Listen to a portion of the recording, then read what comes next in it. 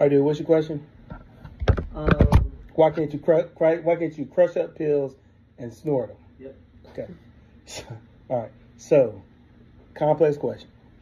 Most drugs that you take. So we're talking about Motrin because that's what we're talking about. We're talking about Motrin. Okay.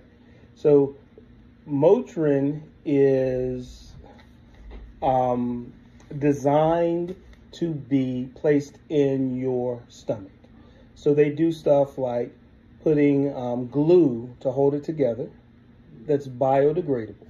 So basically, you can dissolve it. So it dissolves in your stomach and then it falls apart.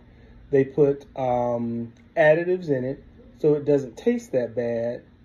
You know, because if it tastes like Dookie, you don't want to take it. Versus it-. Yeah, but it doesn't taste like Skittles. You could make your medicine taste like Skittles, but everybody would take more than they should because they think it's candy. So you got to make it taste okay enough. How you make it taste like Skittles? I'm not gonna tell you that. so, so you could make your medicine taste like M and M's or whatever. So they put stuff to make it taste right, stuff to change the color of it because they want it to be a certain color. Wow. Because some pills are some colors, some pills are other colors. I guess Um, that makes it easier for like people who can't see good. Correct. You want them to be different shapes, different sizes, so different glues. Some of them have microscopic holes drilled in them so that they dissolve at a certain rate in your stomach because if they need acid in your stomach to dissolve and break down, it needs to go away quick like a gel capsule. Versus if it needs to dissolve over time, they may make it a layered thing. So it just layer by layer versus dispersing at one time. So it's all these additives that go into the medicines when it goes into your GI tract because it knows it, they know you're not going to be able to dissolve it. Versus in your lung, it's a direct window to an artery and a vein. So it goes directly to your bloodstream. So if you put something in somebody's lung or they inhale it, like we do with gas when we're doing anesthesia, mm-hmm. it goes directly. You get an effect, not immediately because it has to circulate around the blood, but it goes in pretty quickly. Okay. So But if you put glue in your lung, that messes it up. correct. If you put. Can't have glue in your lung. If you put an additive like um, a food coloring in your lung, It's gonna mess it up. it's gonna mess your lung up. So that's why you can't crush pills up and snort them. Um, so when they talk about like people talk about cocaine being pure and being stepped on and all that kind of stuff, that's what they're talking about. Because if you add additives like talcum powder, baby powder, saccharin, whatever, to make it look like it's more than it is, and when you snort it, It messes up your lungs. it messes up your lungs. So you can't crush up pills and snort them.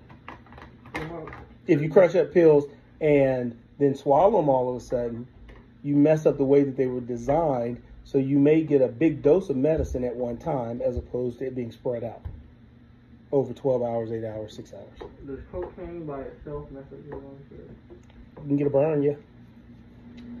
But again, it's based on what's in it as well. Because we use pure cocaine for um, for some procedures. Because it causes vasospasm. So, like sometimes people with bloody nose, they'll take like medical grade cocaine and put it on a, like a tampon or something, stick in their nose, and it'll stop their nose from bleeding.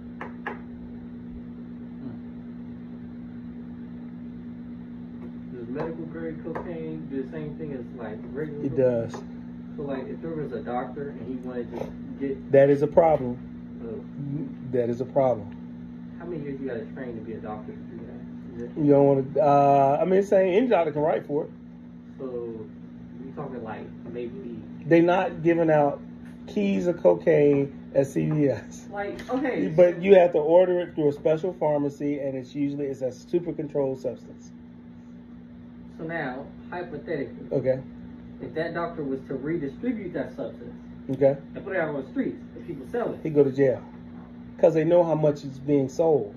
I can't order a pound of cocaine from the from uh, the manufacturer, and they not call me talking about what you need a pound of cocaine for. Now, okay, let's say you need. What's do you know the formula to make it? From a chemical standpoint, Yeah.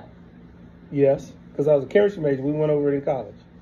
Okay, now from a doctor, would a doctor know how to make medical grade cocaine? It's having a lab to be able to do it and getting the products to be able to do it. Hmm. How much it cost? Goodbye. Can't educate kids. Hypothetical standpoint, completely hypothetical.